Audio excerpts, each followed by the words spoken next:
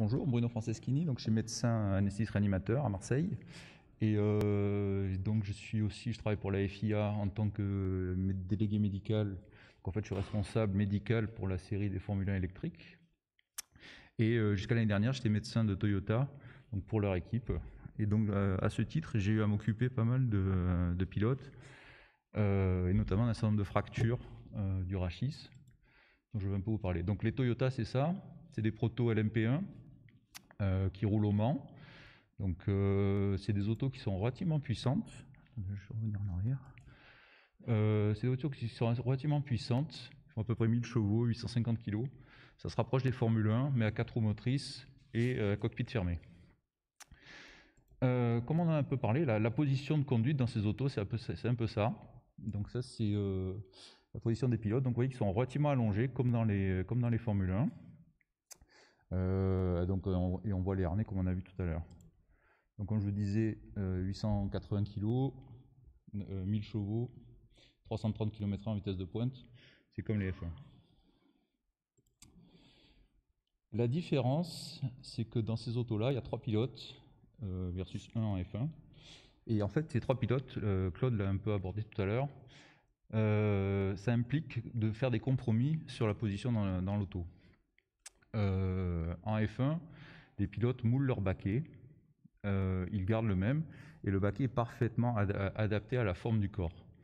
En, LMP1, on a trois pilotes de gabarits relativement différents, et donc on est obligé d'utiliser euh, des inserts dans le siège, donc en fait faire un compromis euh, de la position. Donc les inserts, c'est ce qu'on voit ici, là, Alonso à la main, ou là. Donc en fait, il le glisse dans le siège, et avec ça, ben, ils essaient de trouver une position à peu près confortable pour piloter. Et donc de fait, ils sont moins bien moulés euh, que les pilotes de F1.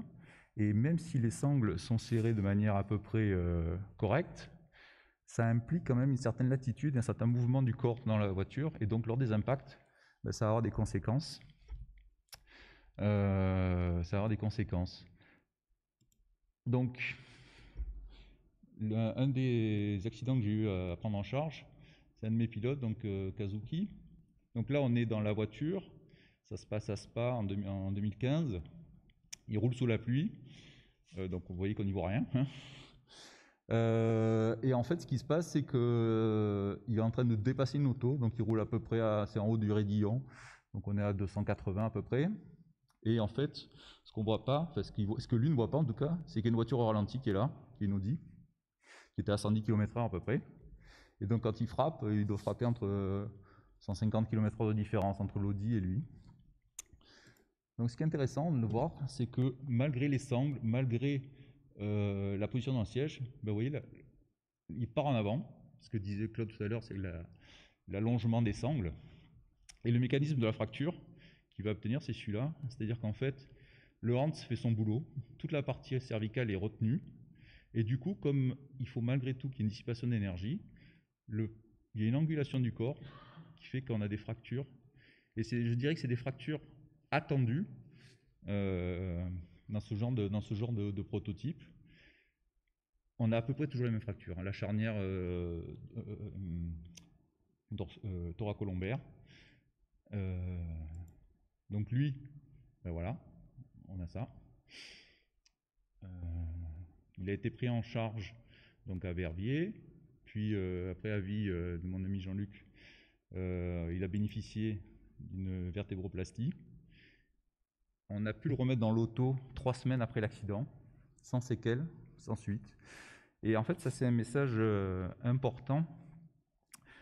Euh, la vertébroplastie dans le cadre du sport auto et de ces pilotes jeunes, et euh, quand c'est indiqué évidemment, une très, bonne indication pour nous parce qu'elle leur permet de revenir très rapidement en course et donc de ne pas perdre leur, et leur championnat et, leur, et les intérêts financiers qu'il y a aussi derrière.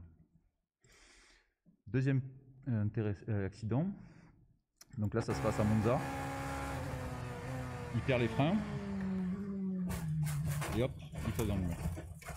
L'impact, il est à peu près à 150 quand il tape le mur. je vais vous le remontrer juste pour qu'on voit pareil à quel point euh,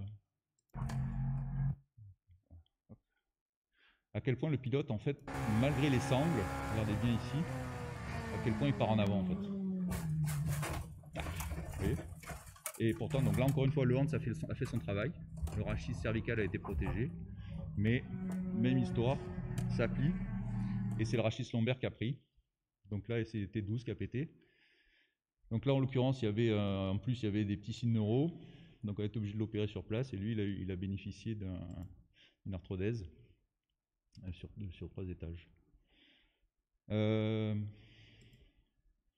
à la FIA, en fait, on a, on a, une analyse de tous, les, de tous ces accidents de partout dans le monde. Chaque, les médecins-chefs des circuits nous envoient des rapports qui sont analysés à partir de ces rapports analysés, on a une discussion entre médecins, ingénieurs, biomécaniciens pour savoir ce qu'on peut améliorer. Euh, donc avec des gens comme Yves, euh, entre autres, et puis d'autres, euh, et des ingénieurs. Savoir comment on peut améliorer les choses. Donc je vous parlais des fractures de la charnière T12L1, qui sont des fractures attendues dans ce type d'auto, parce qu'il faut bien à un moment dissiper l'énergie, que pour l'instant on n'a pas trouvé de solution euh, pour éviter ça. Alors, même si euh, les autos sont équipées de crash box, donc des structures déformables à l'avant, à l'arrière, en latéral, les cockpits sont des cellules de survie qui sont euh, indestructibles. On, travaille beaucoup sur la position des sièges, et c'est la position des sièges qui en fait va conditionner le type de fracture qu'on va avoir, parce que là, par exemple, je lisais encore hier, il y a un article qui est sorti, enfin, une étude sortie de la FIA, ils ont fait un travail sur les fractures euh, du rachis euh, dans le, dans les, sur les courses type Paris-Dakar. En fait, il y avait énormément de fractures euh, en réception de saut. C'est-à-dire que les, les, autos sautent les dunes, et à la réception, les vertèbres se tassent, et on a des fractures tassement.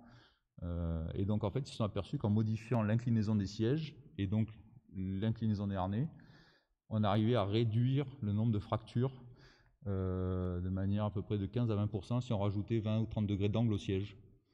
Donc en fait, ça c'est des travaux qu'on fait euh, pour essayer de voir ce qu'on peut améliorer, comment on peut améliorer ça. Donc le Hans, bien sûr, on en a parlé, c'est capital le Hans. Ça a débouché aussi sur le halo, sur les Formule 1, qui ont permis d'éviter la, pénétration d'objets dans le casque.